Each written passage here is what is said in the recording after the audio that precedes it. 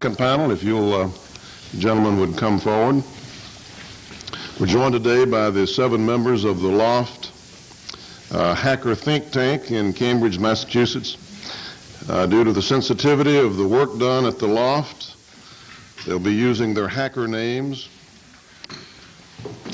of Mudge, Weld, Brian Oblivion, Kingpin, Space Rogue, Tan, and Stefan. Gentlemen? You were the kingpins. I, uh, I hope my grandkids don't ask me who my witnesses were today and say Space Rogue. But we do, uh, we do understand your, uh, your need to do that. We appreciate your being with us. Uh, do you, uh, may I ask your name in the middle? Uh, I'm Mudge. You're Mudge. Mudge, would you like to make a statement? Yes, I would. Um, thank you very much for having us here. Uh, we think this is hopefully a very great step forward and uh, are thrilled that, that the government in general is, is starting to approach the hacker community. Um, we think there's a tremendous asset that the hackers actually bring to the table here in understanding. Um, my handle is Mudge. Uh, I and the six individuals seated before you, which will run down the line, Brian Oblivion, this is uh, John Tan, Kingpin, uh, Weld Pond, Space Rogue, and Stefan von Neumann uh, make up the hacker group known as the L0pht. Uh, for the past four years, the seven of us has been touted as just about everything from uh, the hacker conglomerate, a hacker think tank, uh, the hangout place for the top U.S. hackers, uh, network security experts, and a consumer watch group. Uh, in reality, all we really are is just curious. For well over the past decade, the seven of us have independently learned and worked in the fields of satellite communications, uh, cryptography, operating system de- design and implementation, computer and network security, uh, electronics and telecommunications. Throughout our learning process, uh, we've made a few waves with some large companies such as Microsoft, uh, IBM, Novell, and Sun Microsystems. At the same time, the top hackers and the uh, top legitimate cryptographers and computer security professionals pay us visits when they're in town uh, just, just to see what we're currently working on. So we, we kind of figure we must be doing something right. Uh, I'd like to take this opportunity to uh, let the various members talk about a few of their previous projects, uh, their current projects, and what they're going to be working on in the future. Um, Weld? And if, uh, you- you've heard the testimony this morning, if there are any points that, in the process that you want to make uh, fairly briefly uh, with regard to some of the previous questions or, or testimony, you can feel free to do that also. Definitely will. Uh, good morning. My name is Weld Pond. I'm a hacker and programmer with over 10 years' experience um, working as a software developer in the so- commercial software industry. Uh, my college training is as a computer engineer. At the L0pht, I specialize in writing software programs for exploring computer network security and operating system security. Uh, my current projects include finding vulnerabilities in Microsoft Windows NT security. I'm actively working on L0phtCrack, a program that we've created to exploit the weaknesses in Windows NT's password security, which uses cryptography to uh, secure the passwords, but we have found vulnerabilities in their implementation. Uh, this program has been extremely well received by military, government, and corporate security groups who use it to test their own passwords for weaknesses. Um, prior to the release of this program, um, security experts claimed it would take thousands of years to uncover a um, Windows NT password, and we, our program can do it in uh, days and sometimes, some cases, hours. Um, as a licensed amateur radio operator, I also enjoy radio communications. Um, a future project plan is collaborating with the L0pht Hardware people to uh, create uh, secure public wireless networks, um, something that we're very interested in. Good morning. My name is Kingpin. I am the youngest member of the L0pht and one of the electrical engineers and hardware hackers. Uh, while some of the L0pht members concentrate on software programming, I work with hardware design and implementation of electronic circuits. My interests include embedded system design, surveillance and counter-surveillance tools, and wireless data transmissions. My current research project involves experimentation with the monitoring and eavesdropping of stray electromagnetic fields from computer terminals, otherwise known as tempest monitoring. Using low-cost electronic equipment, one can capture the contents of computer screens from more than 200 meters away, possibly gaining passwords and other sensitive information. The phenomenon of tempest monitoring has been known to the industry for decades, but there is not much unclassified information available on how to both capture the emissions and also protect oneself from becoming an eavesdropping victim. My research will not only help me learn about the monitoring technology, it will enable me to educate others to help them protect their computer systems from prying eyes. My name is uh, John Tan. At uh, 28, I've been involved with computers, telecommunications, and security for 14 years now, the last eight of which have been spent in the financial services industry. Uh, my involvement with the L0pht has primarily been nondescript, but I've uh, achieved some notoriety uh, in terms of uh, documentation of some existing problems with uh, Novell NetWare and a uh, compilation of uh, my newly created Palm Pilot document library. Recently, I've consulted for various manufacturing, financial services, and management consulting firms regarding uh, information security policy and uh, how to establish a corporate security effort. Uh, I will continue uh, in the future to, to pursue an understanding of the, the risks of the information age and uh, communicate those findings to the government, the industry, and the media to provide a clear, consistent message of where we are and where we need to go. Good morning. I'm Space Rogue. Although my background contains no formal computer training, I have amassed a great deal of knowledge in computer security and the use of technology applications in the area of physical security. Currently, I'm working on assessing the vulnerabilities in various proximity detection devices, such as those used by E-ZPass, Mobile Speed Pass, and controlled access cards. In conjunction with Stefan von Neumann, seated here today, and others in the hacking community, I'm acting seeking vulnerabilities in AppleShare IP by Apple Computer. I wish to take this opportunity to thank the members of this committee for inviting us here today.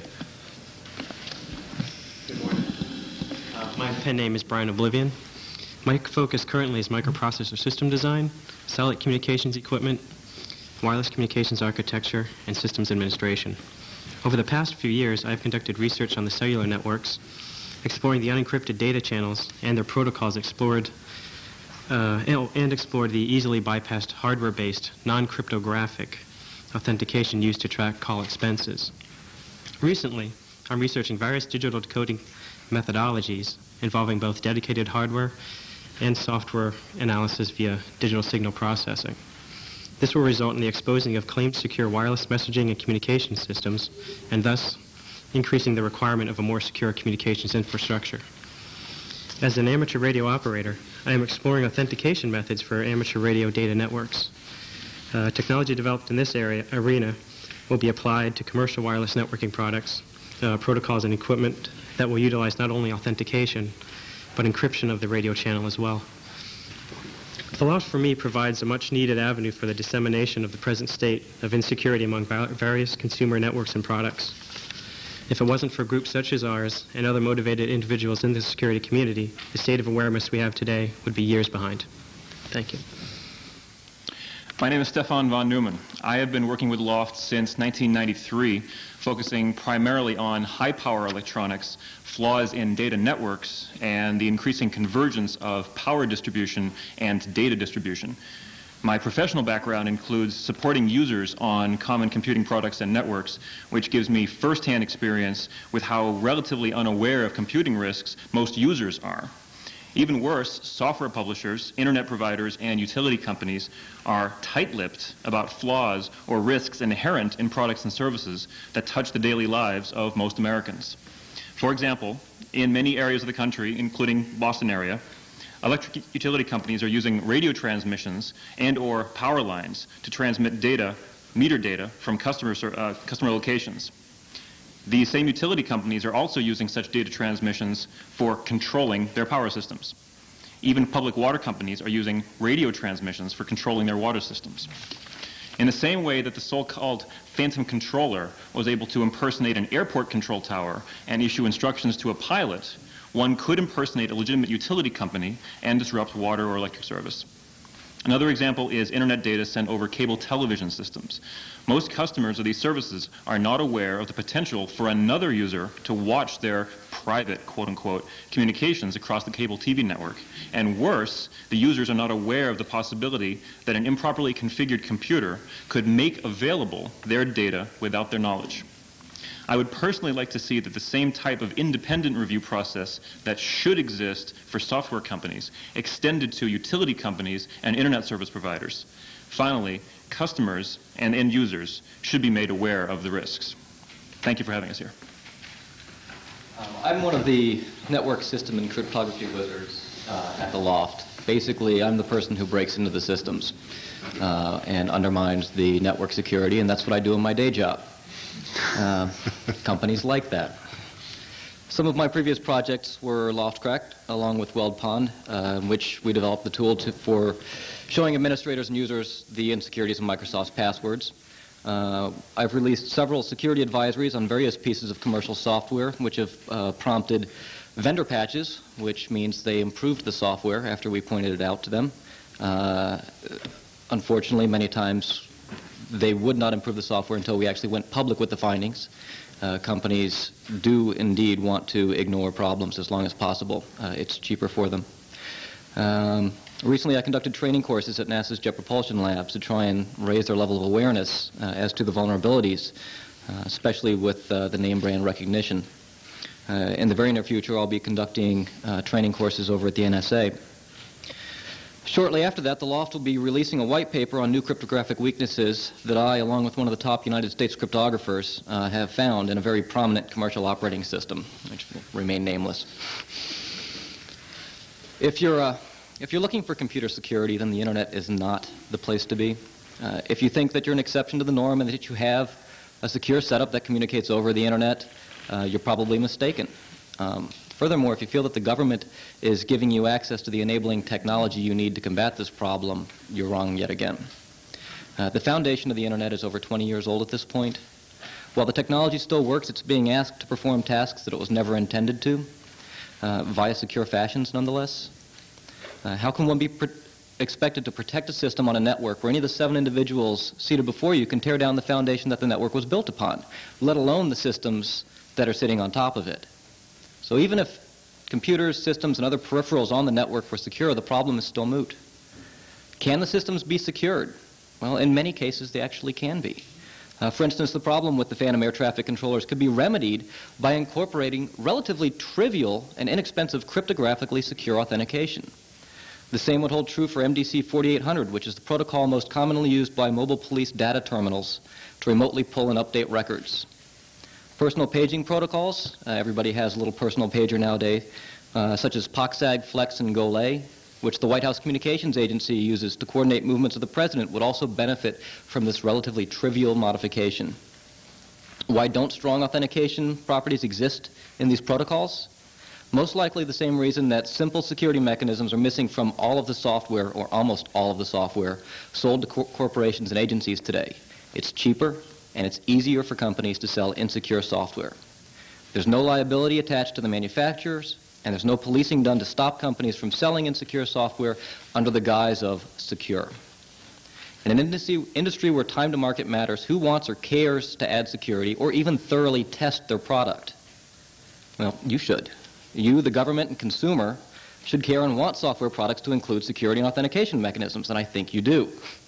You should encourage the companies to include this in their products and hold them liable when their products fail. Uh, there are parts of the situation that the government can directly help. Lifting the constraints on cryptographic export would encourage companies to more readily include authentication and encryption in their products. The Cellular Telecommunications Protection Act is an example of legislation that is in place right now that hinders consumer watch groups such as ourselves, um, thus perpetuating the insecurity status quo that's out there. Uh, in conclusion, hopefully your having us here is not a fluke, and hopefully we've not offended in any way, uh, but this might be the beginning of an ongoing dialogue uh, between the government and hacker groups such as ourselves. Uh, perhaps the information from such meetings will end up becoming an enabling mechanism for future change that will help organizations of all sizes, not just large government organizations.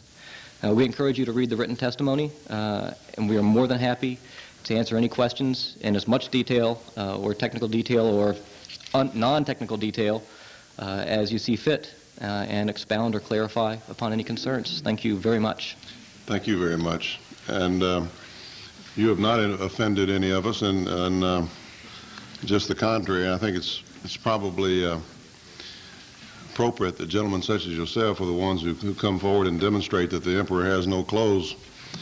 Uh, so we appreciate your coming here, especially in light of the fact that the Washington Post described you as rock stars of the computer hacking elite.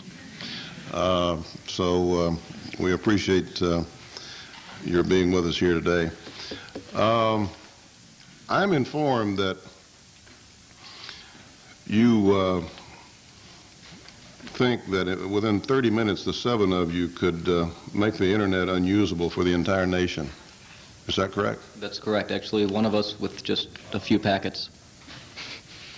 Um, I, we've, we've told a few agencies about this. Uh, it's kind of funny because we think that this is something that the various government agencies should be actively going after. We know the Department of Defense just did a very large uh, um, investigation into what's known as denial of service attacks against the infrastructure.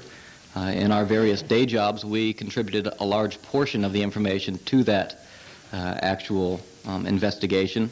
Uh, much to our chagrin, the learnings from it were instantly classified, uh, which we were giving them largely public information. Uh, it, it is very trivial with the old protocols to segregate and separate the different major long-haul providers, uh, which would then be the national access points, the metropolitan area ether uh, sections. AT&T can't talk to MCI, can't talk to PSINet, can't talk to Alternet, et cetera, et cetera, and keep it down that way as long as we really wanted to. It would definitely take a few days for people to figure out what was going on. You, uh, you state that, uh, that uh, with regard to, to commerce over the internet, which is uh, rapidly growing, as we all know, that uh, the internet was not designed for it. Well, what do you mean by that? Uh, the internet was designed out of the uh, Defense Department's Advanced Research Project Agency to simply have computers talk to each other. Uh, this was a very laudable act and a laudable goal, and I think they succeeded fantastically. Uh, this was largely an academic environment uh, with some government research organizations. It grew up, it flourished, it, it struck everybody by surprise, and now big business is saying, well, let's, let's, um, let's jump on board and uh, make some money off of this. Well, you know, this, this is kind of like if you've driven in Boston, you know, the streets aren't tremendously designed in a wonderful fashion because they followed the cows around and laid the pavement down. I mean, you can get it to work, but it can be really painful. And that's the stage we're in right now. You say that you've been working with uh, some gov- governmental agencies with regard to, to some of these problems. And, um, of course, with commercial uh, entities. You know, it occurs to me in listening to you and, and listening to our prior witness that um, there doesn't seem to be an inducement for industry to do much about this at this stage of the game. That's what you're saying, essentially, isn't it? Mm-hmm. And uh, I, I hope that uh, that there are some some more forward-looking people in some of these industries than we've had in times past. You can look at uh, the automobile industry or the uh, tobacco industry or any number of industries uh, have kept their heads in the sand or chief executives about problems on the horizon. And uh, this is going to be something, as much as we dislike lawsuits, and there's too many of them uh, in this country, this is clearly going to be something that is going to hit somebody big time one of these days before very long. And, and uh, hopefully it won't, uh, it won't take a, um, um, economic um, disaster, you know, to cause all that. But you can see it on the horizon, can't you? I mean, they're going to have to come to terms with the fact that their ability to do something about this is out there, uh, and they're turning their back on a, on a way to, uh, uh, to make their systems more secure. They're not doing it, and they're going to be uh, clearly having to answer for that. You say that, that the internet and computer security is almost non-existent. Could you elaborate on that a bit? What, what do you, you mean literally? Um, there, are, there are many aspects that make that up. Uh, the operating systems, as we just heard testimony from Dr. Neumann, uh, very correctly, uh, aren't incorporating any sort of real security mechanisms. There is a lack of education, there's a lack of understanding as to what the problems are out there.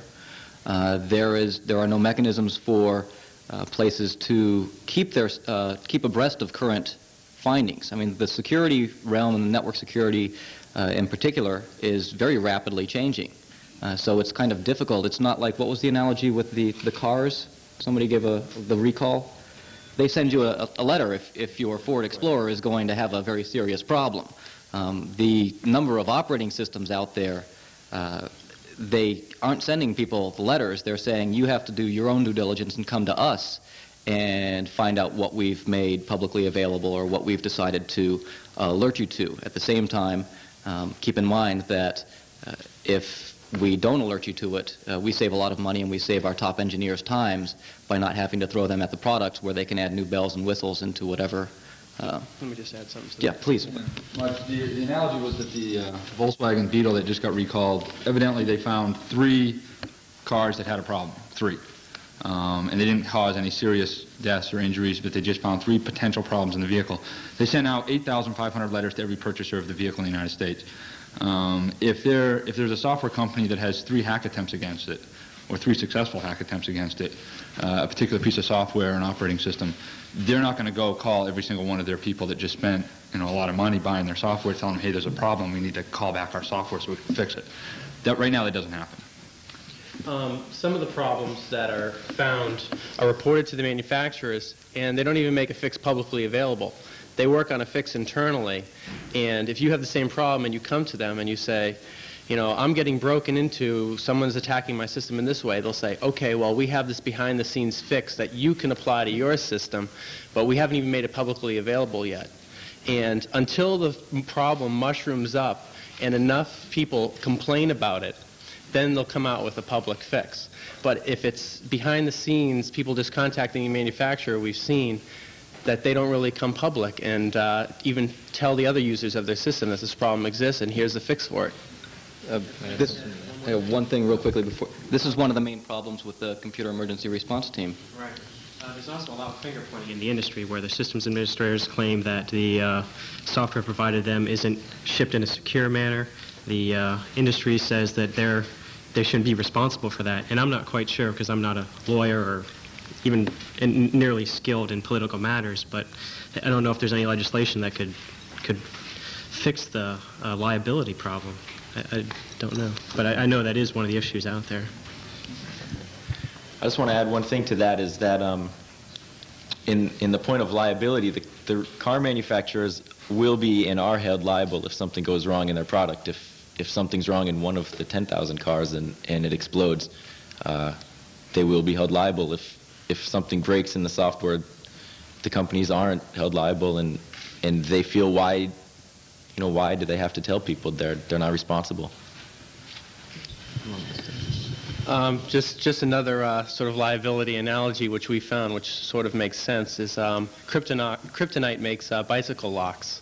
And uh, they say, our lock is so good, if your bike is stolen, it's a $30, $40 lock. If, if, if your bike is stolen, we'll pay up to $1,000 to uh, replace your bicycle.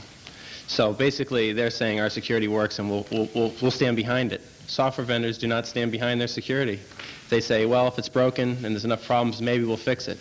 But if you lose thousands of dollars, say you have an e-commerce site up on the internet and your whole business is built around their software, which they've told you is secure, they've told you, oh, we've added all these great features and you can run your business on our software. And then your business fails because of their, they caused your business to fail essentially if it's e-commerce. If your site's down, you're not making money. They say, sorry.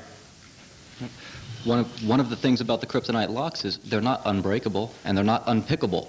And the company knows that. But they've raised the bar. They've raised it enough that the ankle biters, uh, the novices, you know, will go to the next bike that's unlocked. The same thing with car alarms. You get a discount on your insurance for doing, performing due diligence. You just raise the bar and you get, a, get away from the noise level. Uh, Thank you very much. I have one more question. I know the other members uh, have questions. Uh, Part of what you're trying to do is demonstrate something that you feel like the American American people need to know, and that's part of our job also. And I'm I'm curious if a foreign government was able to assemble a group of gentlemen such as yourself um, and paid them large amounts of money and got them in here or hired them here to wreak as much havoc on this government as they could in terms of infrastructure, the governmental operations, whatever. Um, how much damage could they do? We'd be in trouble. Um, in that scenario, go ahead. Um, Just give me Uh, some. we- give, yeah, we- give- we give had- some idea of what we're talking about. We had some of uh, some of your aides up to talk to us and suss us out at the beginning, and I think they were relatively impressed with uh, what we've managed to put together without any funding whatsoever. Um, Brian, do you want to talk about some of the satellite communications, or I mean, let alone just taking us down from the financial aspect? There's there's so many different ways that that Well, each of you that have, a, could be have a comment on that, just relate it, please. You can run down the line. Okay. Uh, regarding satellite communications, um, you could, oh, if you were highly paid enough, uh, you could assemble jamming gear to temporarily knock out uh, uplinks. Um, you could uh, take an area. I'm sure you're, you're aware of like the HERF guns and the EMP blasts and typical informational warfare. It's more on the physical level rather than just the information uh, security um, where you would be able to uh, disable equipment by generating a high energy pulse, uh, disabling the, co- the clock, which c- controls everything in the uh, computer system to malfunction. do? What would be the effect It would like well, it depends on the equipment. It would be you could do it to a telephone switch or a uh, generally um, uh, national access points for the internet are in unshielded buildings. Uh, sometimes they're in just regular commercial buildings without any type of But what be- electromagnetic what would be- protection. what would be the effect of that? How would we feel that? You would feel that by an instant uh, disruption of internet service on that point, All right, what's- including. What's, another, what's another area? Sure.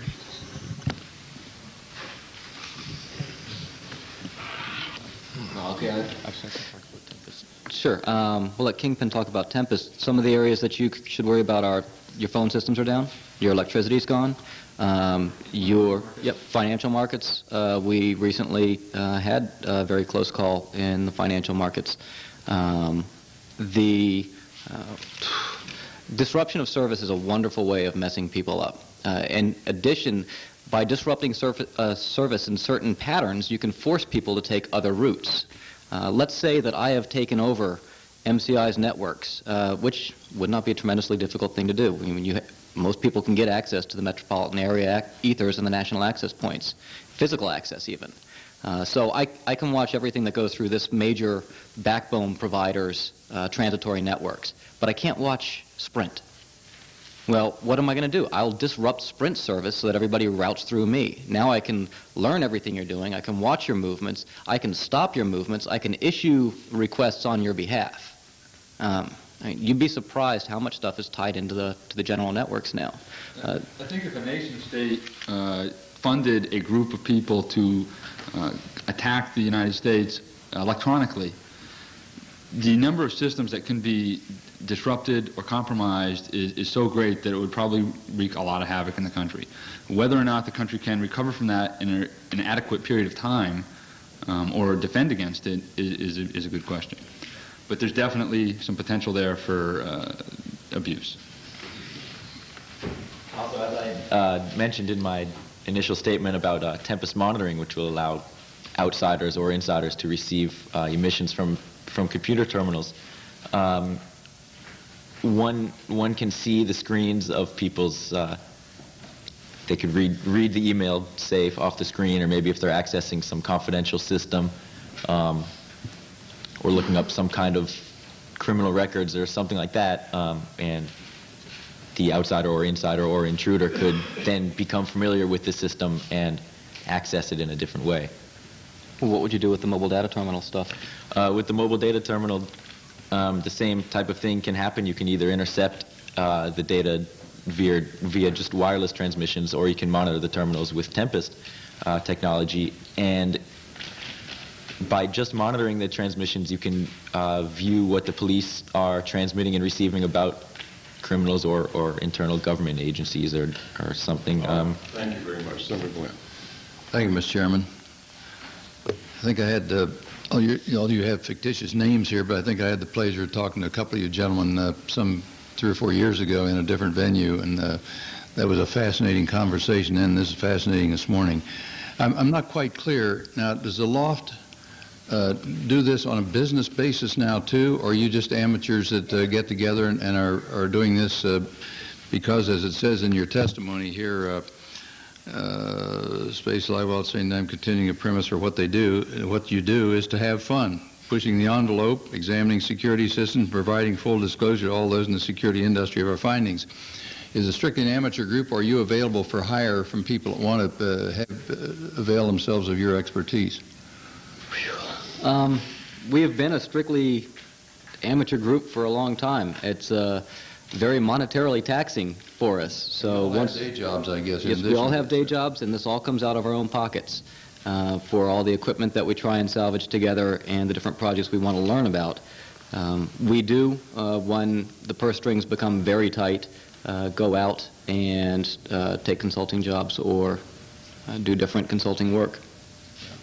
To We'd be more than happy to, to, you know, come help people out. Unfortunately, a lot of people are scared to come talk to us. We have to end up we end up beating people over the head publicly in order to get them to even fix their problems, which doesn't endear us with them tremendously.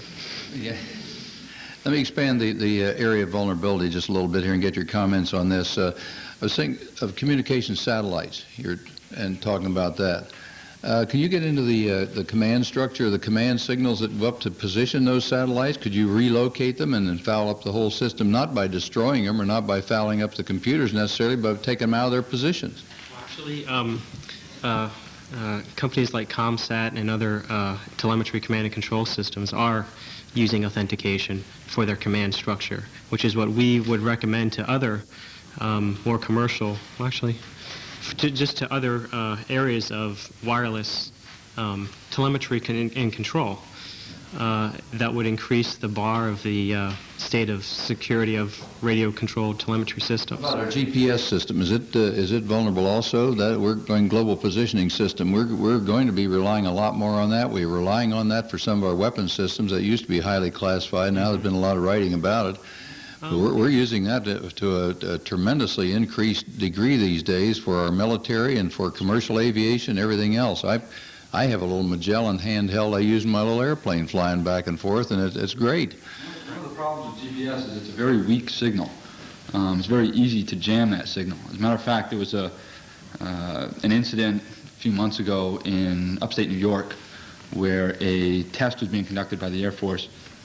The test, unbeknownst to the Air Force personnel, was interfering with the GPS signals to aircraft landing in New Jersey. Um, luckily, it was during the daytime, and the aircraft was trying to rely on the GPS signals uh, to land, um, but they lost their GPS. Uh, so they went on uh, manual and landed that way. If somebody wanted to, though, could they get into the GPS system and actually relocate some of those satellites slightly, which would throw off all that, screw up all your information that you're getting? Is that possible? Um, uh, traditionally, the military has been very good about um, authentication methods on telemetry and command and control systems. So I, I, I think you'd be more uh, worried about um, setting up, uh, you know, 2.x gigahertz uh, jammer rather than somebody actually moving the satellites around or colliding them or, you know. Jam it and relocate it because of weak signal. Right. Yeah. Or it could be hidden in. One comment here. On uh, August 21st, I believe it is 1999, a lot of the receivers will fail. They have a uh, year 2000 type problem where they run out of bits, and it resets to January 1980. Just thought I'd toss that one in. I mean, I'm going to have to go, ba- don't, don't be flying that day if I want to go where I'm supposed to be going, is what you're telling me. All right, I'll, I'll check that one out. Uh, how about, could you get in and transfer Federal Reserve funds to uh, someplace? Uh, Just about just about everything is possible. It depends on how much money you want to throw at it, Yeah. time and effort. Uh, from the amount of time and effort and the money, which is non-existent, uh, for us, uh, and the fact that you know we like not being in jail, uh, we'd say no, we wouldn't do that if we really wanted to and really had to. Okay. Yes, because if you make it easy enough for yourself or somebody else to use it, you make it vulnerable. I, I, I look at you guys as the white hats in this whole thing. Yeah, I think your, your motivation, as far as I know, is excellent. and I think you want to be considered that way. But let's say we have a bunch of bad guys now. Can you, can you, with your expertise, track back and find out who the bad guys are if they're trying to foul up GPS or Federal Reserve or something else? Can you can you track that back and locate the the uh, people that are not of goodwill? Backtracking and um, reverse hacking uh, is a relatively tricky area.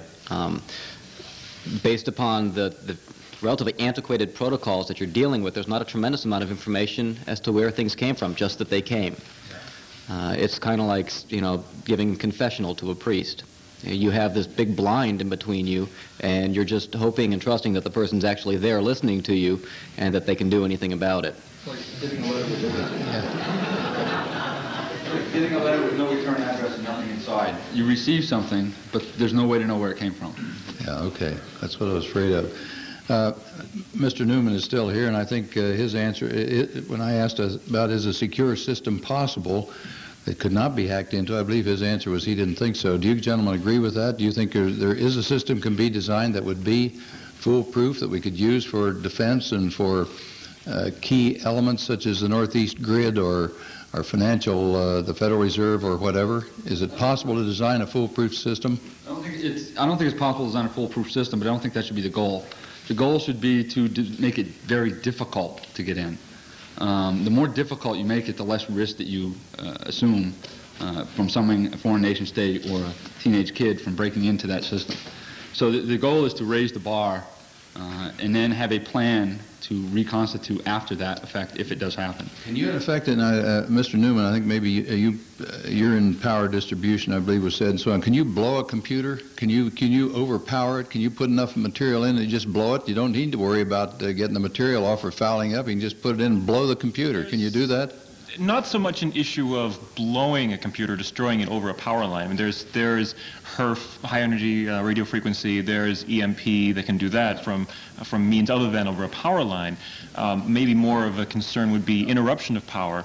We were in, in the course of uh, one of our one of our investigations um, able to.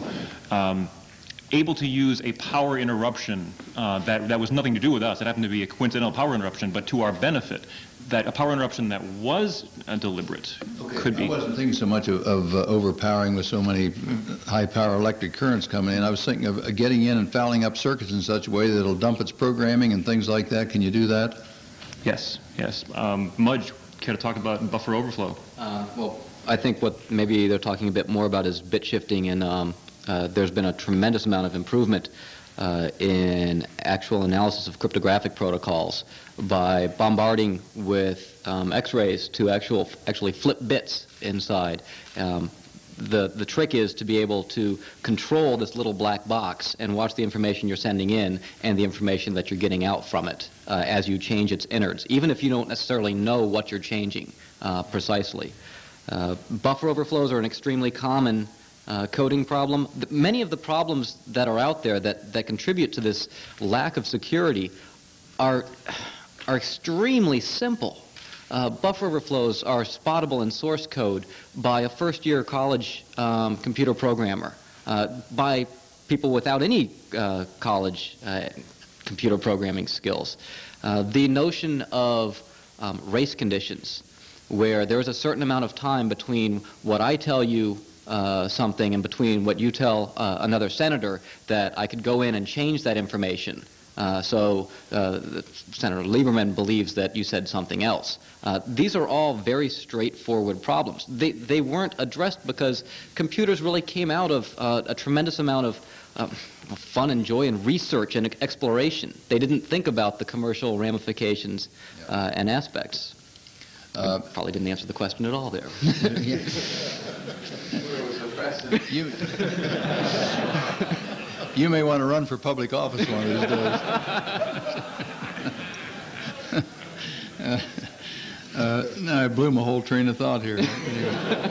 oh, I know what it was. Uh, uh, we alluded to this a while ago. Mr. Neumann was here about uh, would it be possible to set up a whole different system for defense, uh, for intelligence matters, for CIA, for NSA, for people doing very highly classified work that we don't want out. Would there be an advantage to us uh, funding and setting up a whole separate system? And how long would it be invulnerable if, if we did such a thing? Or uh, is it worth the effort? It'd be very expensive to do it. Uh, how would we, would it be worth doing? Um, One of the things that was said earlier was there are no easy answers. Um, Maybe not any uh, answers at all, but what I believe is it's, there are answers, they're just quite painful. Um, Yes, I think that is one of the ways to do it. Several of the agencies uh, within the government currently do that. It is very expensive. If you have extremely sensitive information, you do not trust it with other networks that are less sensitive, that are less trusted. Um, the actual computer systems can be made to be relatively secure, the physical hardware in it. Uh, it becomes very costly. It's, it's a cost-benefit you know, analysis that you end up doing here. The software can be improved upon. The software doesn't have to be fantastic. I mean, one of the things that strikes me is, is there's a tremendous amount um, of, of interest in the year 2000 problem. And I, every time I hear it, I have to sit back and, and I chuckle to myself because we're worried about the year 2000 when these systems crash, but they're crashing left and right right now and nobody cares. Uh, the, the systems, you can, you can work with them right now. They do crash. I mean, how many times has anybody in here run Windows and had to reboot it, or a Macintosh? I mean, left and right. They still work. If you put them in a secluded room, put a guy with a gun next to it, and don't let it talk to other systems, it's relatively secure. I'm not quite sure what we do if we require the, the uh, computer industry to uh, do something. You say there are no incentives for industry to do much.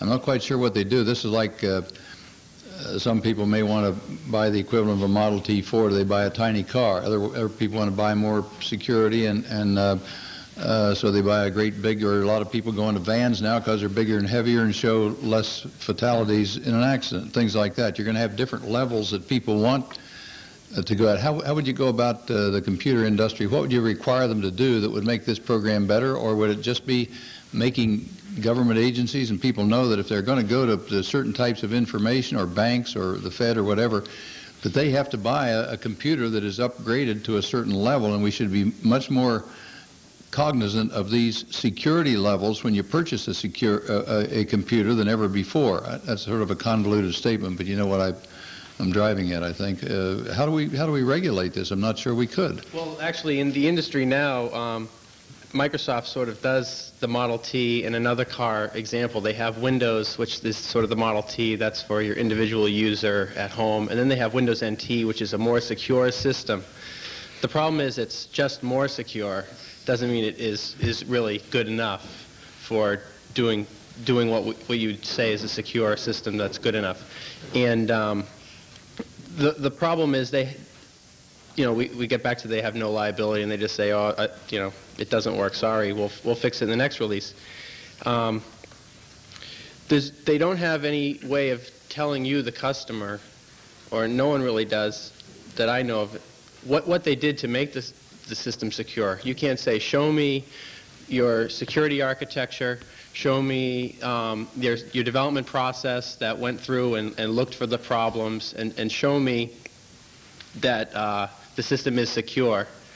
No, no one's doing that. No one's really uh, selling a commercial product that does that, can assure you, the buyer, that you are buying the, the Cadillac with the, uh, the bulletproof glass. So no one's really selling that, and no one's really assuring anyone that, that, that that's true. It comes down to Microsoft just saying, trust us, um, and there's really no way to test the product to find out if, in fact, it is secure, at least by the end user or the consumer. Um, so, it, unlike the, the Cadillac with the bulletproof glass, you can go up and you can look at the glass and see how thick it is. You can't do that with software. Sure, my time is more than up. We don't have lights here, but uh, just one more uh, question here. It would seem to me maybe uh, all of our concern, and, and maybe this overstates it, but our concern about whether people get in and have access or can manipulate a system where it transfers something to another spot or something, maybe this isn't uh, our biggest danger. Maybe it's uh, Stefan's thing over here where you just get in. If you really want to do harm to our country, you just get in, in effect, blow the computer or, or do the transfers, as you said about by X-ray or whatever it is, and you've fouled up the whole thing irretrievably. Uh, rather than going in and trying to manipulate a system. Is that a, should our biggest worry be in this area? And it would seem to me that that might be something that'd be easier to protect against than all this getting in and, and fouling up somebody's specific software program. Is that, am I over optimistic? It's much simpler for someone to perform a denial of service than it is to change the data and insert their own or to um, uh, or to manipulate. Um, Not be surreptitious. You- You'd know it when it happened, that's for sure. You wouldn't, exactly. Much much less expensive to do that kind of uh, damage and much simpler. Um, easier to prevent against, perhaps, perhaps more straightforward in the short term to harden the uh, the, the major network access points and, and uh, to, the, to the extent of a mil- a military facility, um, temp- making more tempest-proof uh, facilities. Uh, or X-ray-proof shielding, something like that, I was thinking. yeah, Is that that- may it may be simpler in the short term. There is um, documentation on that, uh, and it is possible to shut down machines with the high energy Yeah. uh, RF. Um, protecting against it has has been done. Um, it is done, and it's fairly simple. You can basically enclose enclose something in in a giant metal box, um, which will prevent the out you know the outside uh, RF. Um, I don't know if that's done a lot inside the government. Some of the military uh, computers need to be tempest proof. Brian, you were going to say something there. a. Uh, I think I was just going to say that the box needs to be grounded. That's all. But, If I may, um, I I I think think should be grounded, yeah. Thank you.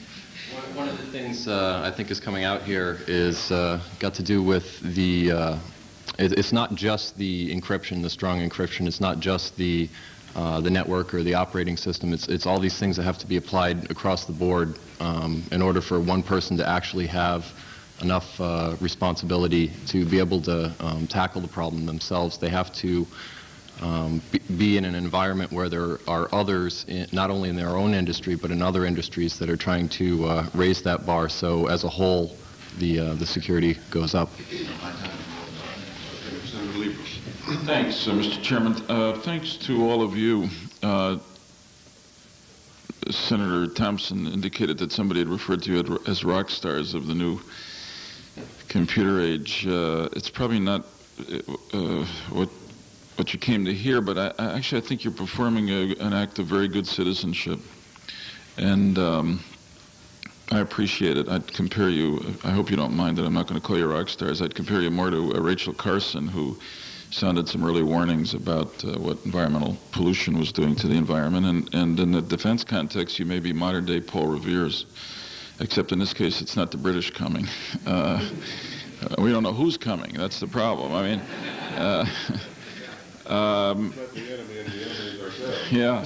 Well, the chairman's question before was chilling. I mean, you you are obviously very bright and very uh, very creative and work at this. But if there's anything we have learned at the modern age is that you don't um, you you cannot, particularly in this age, particularly because of computers, where knowledge and information travels so quickly. Uh, just as you have been able to do this at L0pht, there, there could be there are people all around the world who are able to do this, and they may not be good citizens.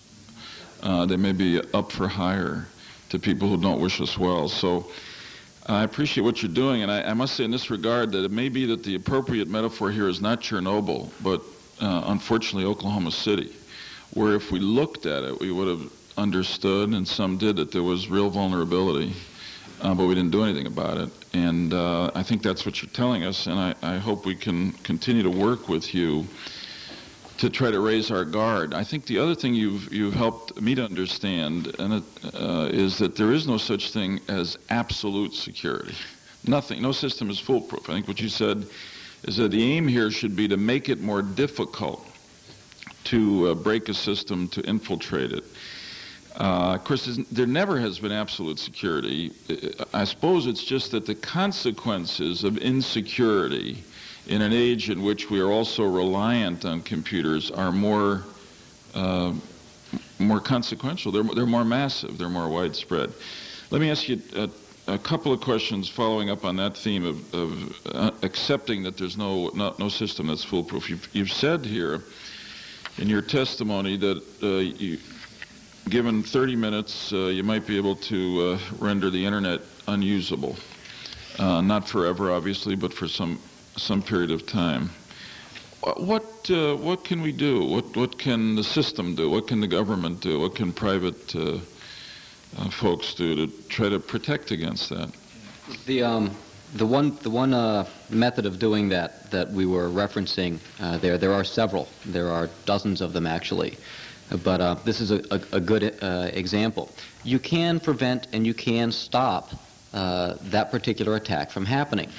However, uh, the nature of of the internet and the companies that are providing the long haul backbone connections of it is to move the information as quickly as possible across that because that's money. Every packet, millions of packets go by a second, is worth a little bit of money. If you even stop to look at the packets, you have to send slightly less than your maximum capacity might be, in which case your competitor uh, now has an edge on you because they can offer faster, more efficient service.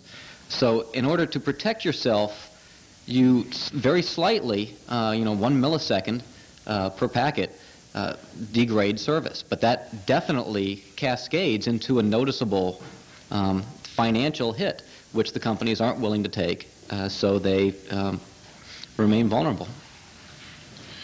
So let me uh, just uh, compare things and go to you, uh, Stefan von Neumann, because you, you talked about your work in utility systems. And um, let me ask you just to compare, for instance, today, uh, leaving aside what we've talked about, or let's, let's, say 10 or 15 years ago, somebody who wanted to do damage to a utility system could um, cut wires, could, if they were um, more aggressive, uh, you know, blow up a power station, a substation. So compare that, the effects of something more primitive like that, uh, from somebody with hostile intent to the possibility, possibilities that you envision in the new world it could be it could be more well timed or more um, more specific of an impact. I mean, where where the the the the detonation of an explosive near a substation could take down an entire grid with specific computer control of, of an area. You might be able to interrupt only one customer's service. Say if there was a, a commercial entity that was a target, that one that one commercial entity or that one government building could become um, denied of electric service or water service or the uh, whatever the, the, utility service was that was going to benefit the attacker. So computer, computer service. Yes. Yeah. Yes. Exactly. So so the in the past where it simply was just a, a destruction, it might not have had the, the, the specific focus on the, the on the attack point where now it, it, it allows that. I think another issue is if somebody goes out and cuts a line, there's a plan in place. We send out a repairman, he fixes the line, and all set. Right. You blow up the building, you rebuild it. If we attack the computer systems, how do we reconstitute from that? Right. There are no plans in place right, right now and, to, to, recover from that. And there, there may be um, no way to anticipate the follow-up. I mean, if, if there's an attack made, a physical attack, an explosion against, or, or a line cutting, then there could be increased security in that area on those same facilities so that the same thing wouldn't happen again. If it's, and if it's a computer issue, I mean, the, the attacker could be sufficiently skilled that they could simply change their method slightly and go around any defense that's put up in the place of the first, of the first attack. And uh, the, the ability to find the attacker would, would be compromised. And uh, it would be harder to find the attacker. Simply because of the, the, the nature of, of, of, the internet as it is, with the, the, the, no authentication, no proof of, of where you are, who you in, are. In your line cutting analogy, uh, the guy goes out and snips the, the wire. Uh, maybe somebody saw him, we can track him through a witness. If he comes in over the internet and attacks our computer systems, we don't know where it came from and nobody saw him. Exactly. Mm -hmm. Final, uh, final question. Somebody used the VW example. And it's an interesting one. You know, as you said, um, three cars show some sign of the impact of the wiring defect. I recall all 8,500 of the new Beetles that they've sold in the U.S. And, and, it, and as you said correctly, as far as I know, the uh, you know th three indications of hacking into a system, and nobody's under an obligation to do it. I, I haven't looked at this in a while, but the the um, the automobile companies and the recalls are not motivated simply by, if I may overuse the term here, good citizenship. There's law and there is the the fear of liability. Um, so it is, and this is a complicated area, and as Dr. Neumann said, we got to be real careful not to jump too quickly without thinking about it. But is there a way in which we should be setting some standards here? I mean, for instance, a very simplistic standard would be to require uh, systems operators or, uh, or, or, or, service providers or manufacturers to um, to, to give public notice of instances of hacking, successful hacking into a system. Or, or at least public notice of vulnerabilities that they've found in their system. This is definitely a double-edged sword because when you give the information out, Right. um, other people can figure out how to exploit it. Yeah. Um, however, if you don't give the information out, the people out there can't protect themselves. Uh, I think we've tried it the route where we have kept the information secret. Um, the Computer Emergency Response Team out of Carnegie Mellon uh, does that. I think, and I, I know a whole bunch of people in the computer, computer industry uh, agree with me on this, that they have become more detrimental than beneficial by a long shot. Um, a couple words of encouragement from right behind me. Uh, full disclosure is very important. I mean, you have to educate people. Education is one of the largest things that's really missing um, out of this. If I'm an administrator and there's a problem in what I have to control, but the companies don't let me know about it, I can't be expected to fix it. Even if the companies don't have a fix themselves, if I know of the problem, I might be able to put other things in place in front of it so I can catch it. I might have different a different setup. Not everybody has the exact same setup. You might But- disconnect your system from the network. Yeah, I might say, hey, that's really bad. I need to get off of there right now. But I'd be able to do that. And I'll go, I'll go one further, not, not only to point out the flaws, but also to point out the inner workings. I, um, this may be uh, rehashing something that's, that's well known, but the Unix environment being around for so many years, being public, being able to be examined, has most of the fixes quite well known. Microsoft Windows NT, all of their code is completely hidden from public eyes. They don't release it. It's, as, as it's been said, a black box. So the public, even if, even if end user wanted to go and look inside the internals of, say, Windows, Windows NT, they're not allowed to. It's illegal, according to the software licensing put forth by Microsoft, to disassemble, to try and reverse engineer it. That kind of a limitation is, is just putting the brakes on investigation of, of the flaws. It's like buying a car, not being able to open the hood. Exactly. Amen. It's a good, good, uh, good comparison to close on. I, I want to thank you again. Um, this is another classic example of what we, we find very often w- on this side as lawmakers, which is that we see a problem, we, we, we want to we want to make it better, we contemplate law, but we but this is in an area of very developed expertise, which most of us don't have. So we rely, well, we often rely on science, on data, and on the people who have more expertise, and then try to make the best judgment we can. I, re- I, I in, in thanking you, I really want to, uh, although I know you're, you know, you've already got two, you got a day job and a night avocation, but um, to the extent that you find time, I really uh, ask you, request that you think about what the government, what, what we as lawmakers, if anything, I mean, it may be that you're going to come back and say, you're only going to mess it up here. Um, what we, what, what we might do through law to deal with some of the, to protect ourselves from some of the vulnerabilities that uh, you've identified. Thank, thanks very much. Thank you very much, gentlemen. Thank you very much for, for being here with us today. I, like Senator Lieberman, think that you are performing a, a valuable service to your country, and, and we appreciate that, uh, and, and want you to continue, and want you to, to continue to help us.